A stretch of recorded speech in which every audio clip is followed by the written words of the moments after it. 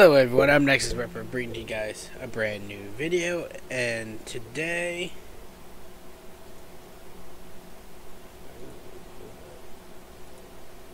That's way off screen. Let's fix that. There. Alright. So a couple more people have been asking me what's the best layout for when you start a map? Especially one of my friends that is new to this and is playing Since you're not here, I guess I'll use Darth Maul. and is playing on Xbox. I'm gonna go and show you guys my specific You are layout heard and so forth. And yes, I heard you. I'm doing this video for you. So um, Hey, so fucking, what do you do whenever soil goes bad? Let's go ahead and get right into it. I'm going to be using Cliffside Bay. Because I removed the house. example of it? People that were living there, and I put a new house, and they still got sick too. And I had a hospital Well, there too. I'm going to show you. I had a bunch of hosp. I had like three hospitals and three police fucking stations. you know what the fuck I was doing? Like I said, well, you're gonna learn. I'm gonna be making this video for you, and I'm gonna show you, which I'm making it right now. Got three blasters.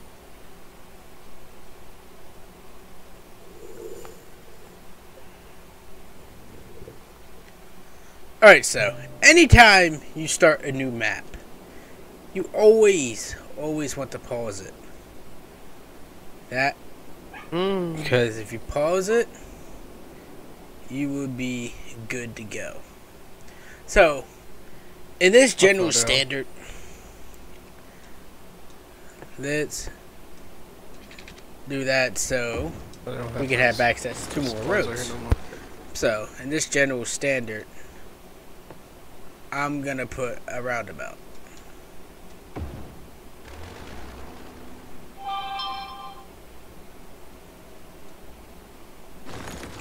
I could have placed it a little bit better. Maybe place that better again.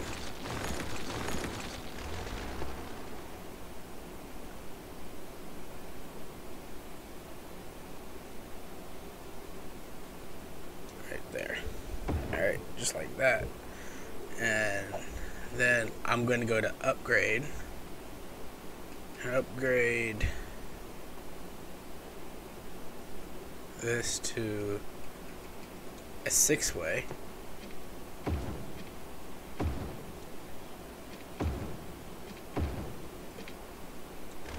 Get rid of this. Since I don't have the highway specific, I'm gonna be going with a two lane one way.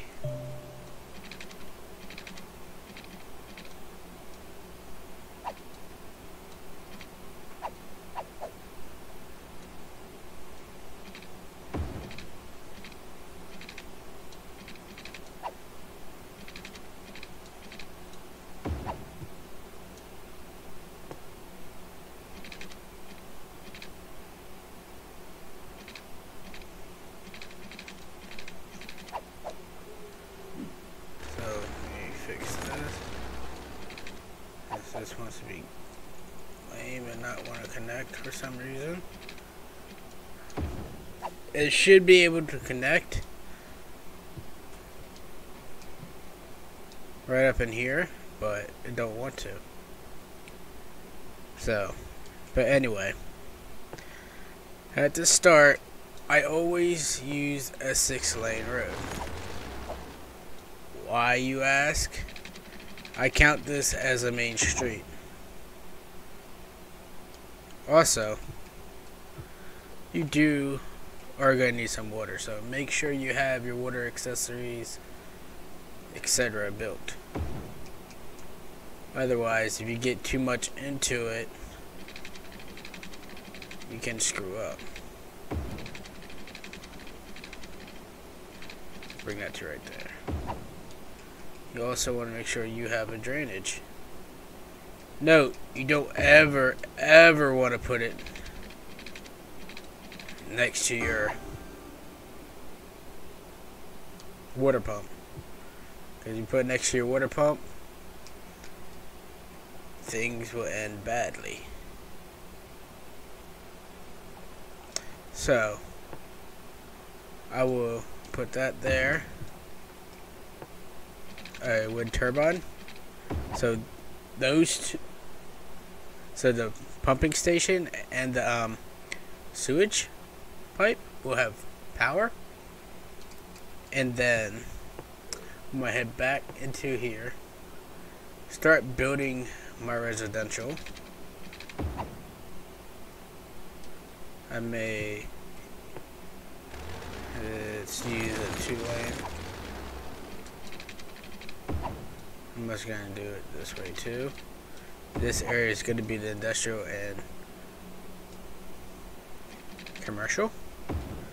I will be putting a power plant down.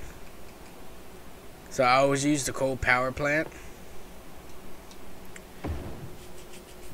Um, you always, always, always want to make sure your roads have enough availability for things to come through, especially if you want to get resources to your power plant. Because without that, you can get screwed.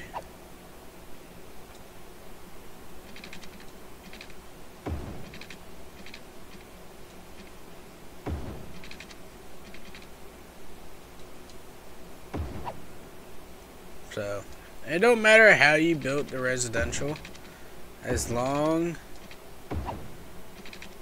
as you have it ready, it should be good. So, we're gonna build residential, I mean, commercial right in this area.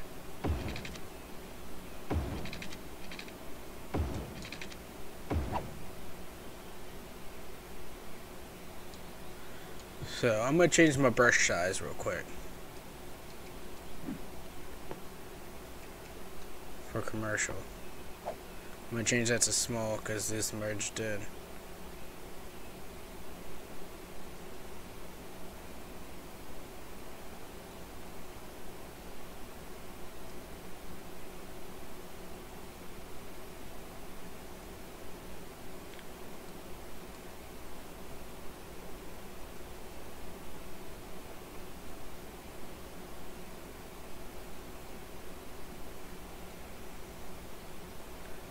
Oh, this will be commercial. This whole side.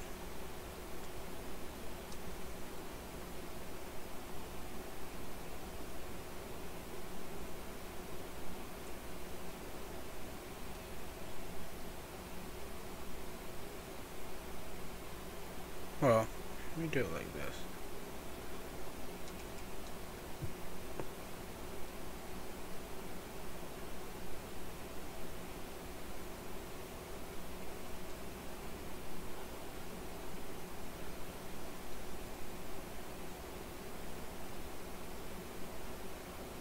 This whole area is going to be um industrial. Now I can fill that in. I'm going to go back to fill. And this whole whole area is going to be residential.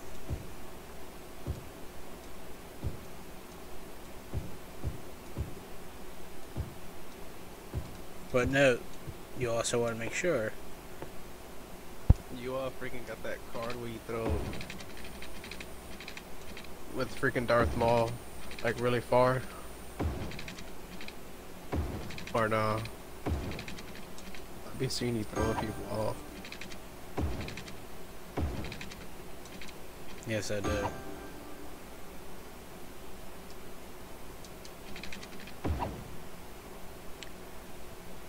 So I also want to make sure.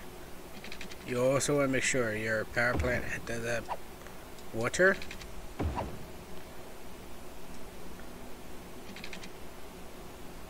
So, since not much stuff is going to be getting it for the time being.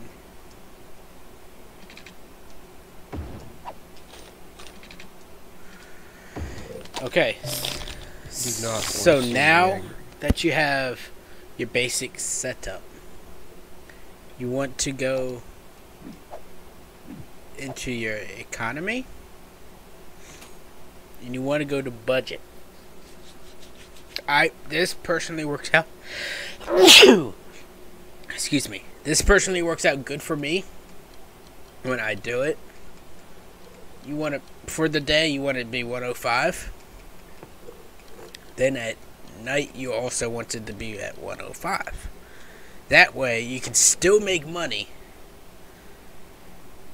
and you won't go broke. So, I'm going to go ahead and unpause this game here.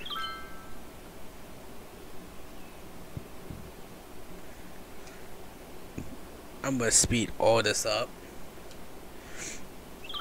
Note, once you start getting buildings in this area, your power from the power station will spread. But before you can start making money, you do need residents. That's the most priority.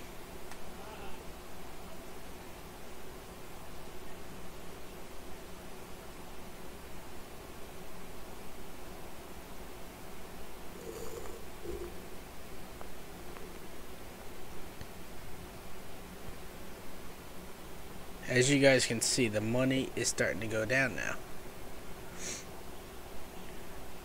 Now, if you end up in a bankruptcy predicament, it's okay. Because that's basically going to give you a starter kit for this area. So you can get power over to these guys. Now, you can put power lines across for the meantime. That's if you want to. Or you can wait until you get buildings built.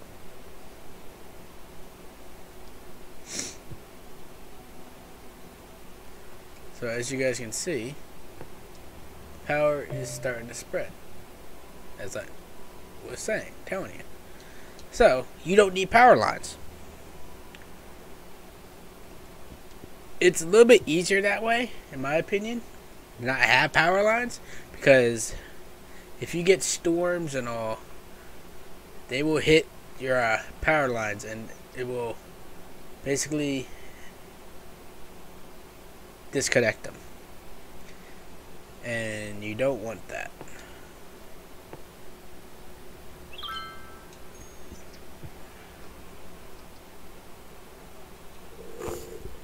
So once we get into the healthcare and emergency services,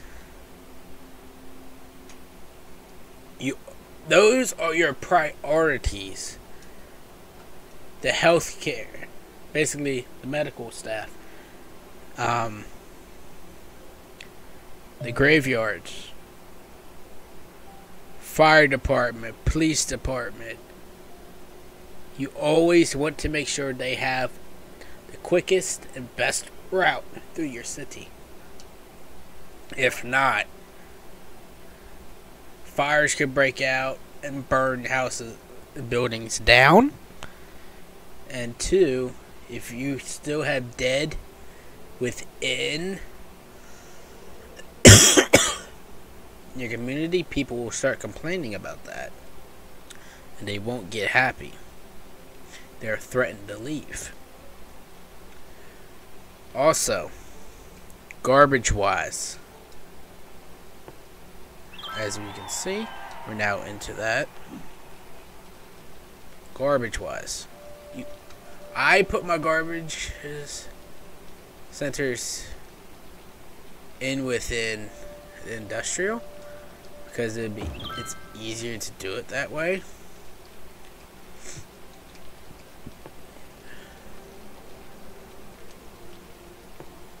And so forth. So, like I said, this is just an example map. I'm not really getting into it. But,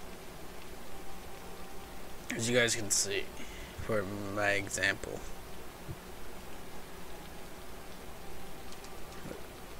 You always want to make sure you guys have water. That's a definite must. So, when you guys is um landfill gets filled up, you want to put this incineration plant somewhere. I prefer it somewhere close to your landfill, so you dump, so your trash trucks can empty the trash easier and quicker. Same when you use with the cemetery. When the cemetery gets full, you want to put your cremation crematorium somewhere close by. Is preferred. So it can be emptied out quicker. Dead people don't pile up in your city. And yeah. Now, school. Now, when it comes to commercial, office buildings, and industrial, some may require school education. So, you want to make sure within your residential areas and high end residential areas that you got schools within the general vicinity with elementary to high school to university higher, the more educated people you have, the less garbage they will produce. And more job opportunities, which means you can start making more money. So, with that being basically generally said, oh, I left one key part out. You never, ever, ever want to put your landfills or your industrials next to your residential unless the industrial is a forest and or a farm farming or residential which you do have the power to choose an area by make drawing a district. Hold up let me see if I can't bring it up. By district painting tools you can draw out a district. Industrial specializations you can pick what you want in that specific area. Note, that goes for everything in this area for um, industrials and commercial and even residential. So, if this beginning tutorial has been helpful, well, let me go ahead and make an example. So I'm going to make this district right here.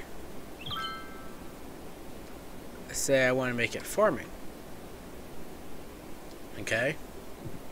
I would lay out an area of roadway to put in. And then I'd go to industrial and start zoning.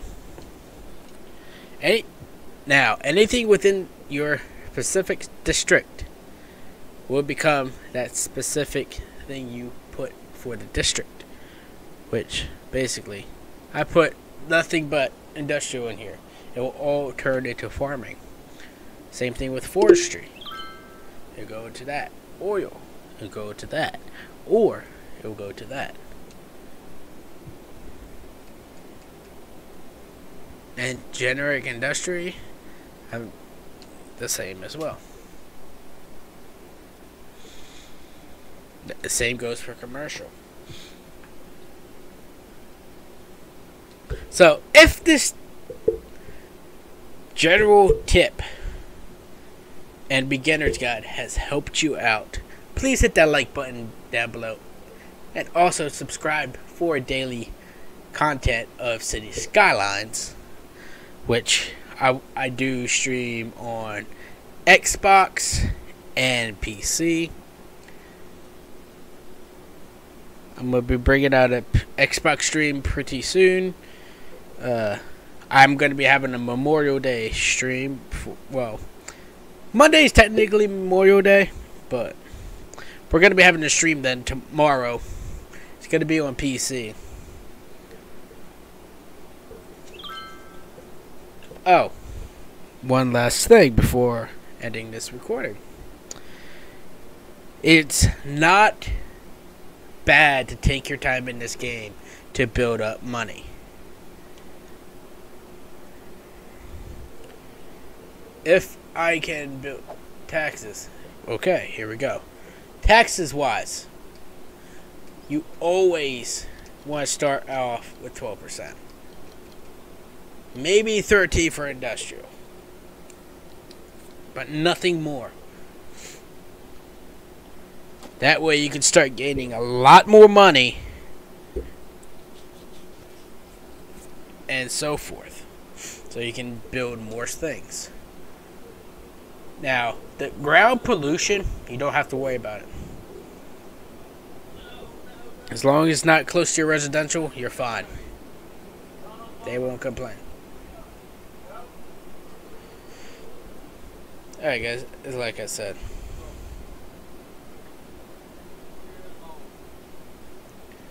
If you guys have enjoyed well, that's not good. But you all know what I mean by the pumping station and all. They're all getting sick. This is an example of what you don't want to do. Because of pollution. They're all getting sick. So.